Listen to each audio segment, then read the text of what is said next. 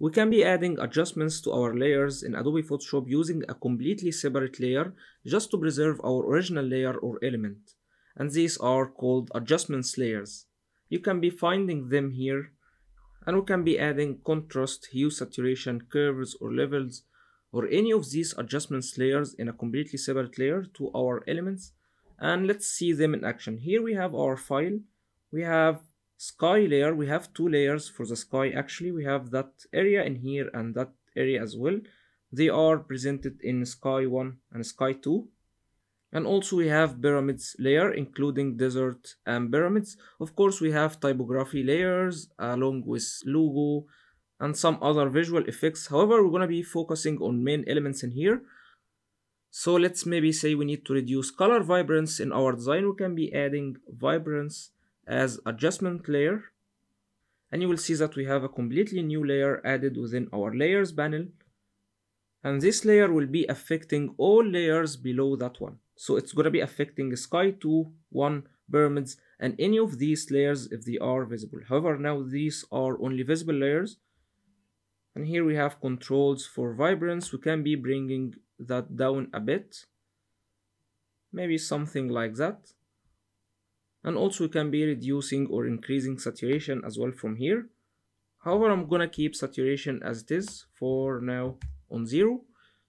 And let me even reduce that one a bit so we can see it in a better way within our example now collapsing our properties panel and now instead of affecting all these layers with our vibrance adjustment layer we can be controlling specific layers with that effect so we can be moving our vibrance effect below sky 2 to control only that part of our sky maybe for a surreal effect. And I find it actually looks very cool like that. However we can be only linking that one to that part of the sky excluding also pyramids area and that desert so we can be pressing command. And we will be seeing that sign in here that we can be linking these two layers to each others. So we're to be clicking and now we have our vibrance layer only affecting our sky 1 layer. So you can see that area of our sky is only gray with reduced vibrance or instead we can be applying the same effect on the entire sky by maybe pressing command again. So we're gonna be removing that link between these two layers the adjustment layer and sky one.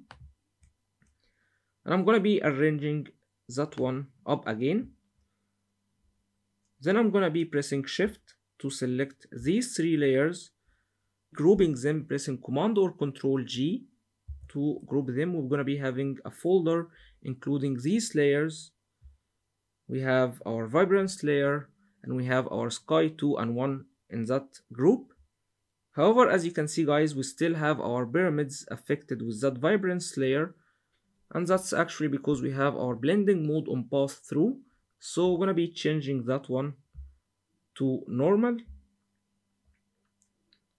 And now that effect will not be passing through the group to affect the pyramids layer. And now maybe you can be applying another adjustment layer on our pyramids. So can be selecting our pyramids layer in order to apply that adjustment layer on that one. We're gonna be going maybe to color balance in here. We can be balancing our colors within that adjustment layer. So let's maybe bring it to a bit to cyan maybe a little bit as well of magenta and cooling everything maybe like that. Or we can get it that way just for example. Now we have that one applied to our pyramids layer. We can be checking our adjustment layer anytime on and off to see the difference and judge ourselves if we like that one or we need to apply another effect. Of course this looks even better with that adjustment and even we can keep adding more adjustments layer to our layer. so let's maybe go for saturation hue saturation. And we can be reducing saturation a bit as well for that layer. Just a little bit like that. And anytime you would like to get rid of your group of layers in here you can be selecting your group pressing command shift G. That will be ungrouping your layers once again that shortcut also existing in Adobe Illustrator. You can be grouping layers or ungrouping them using Command G or Command Shift G. However, I think it's quite pale like that, so let me undo that. Of course, also what's really amazing about adjustments layers that we can be controlling their opacity and same exactly like using Instagram filters, you can be reducing intensity for some filters. So we can be reducing maybe vibrance a bit, selecting our vibrance, reducing opacity for that effect. So as you can see guys, we have maximum control over our effects using adjustments layer. However, if we, let's maybe disable any of these. So let's maybe disable that one and also that one as well. And now let's maybe select our pyramids and I'm gonna be applying the same effect as a direct effect from images, adjustments, and we have hue saturation. Let's maybe bring that one a bit like that. Now once we apply that effect to our image in a direct way, we no longer gonna be able to remove that one from our image, except of course using undo or command Z. So we're gonna keep it that way and pressing OK. Now we cannot be removing that effect as you can see from our image. So I'm gonna be undoing that and I'm gonna be applying adjustments layers once again. And what's really cool about using adjustments layers as well that we can be editing our settings anytime. So we can be double clicking in here to edit our color balance effect maybe once again. So we can be customizing our values anytime and the same as well for any of these adjustments layers.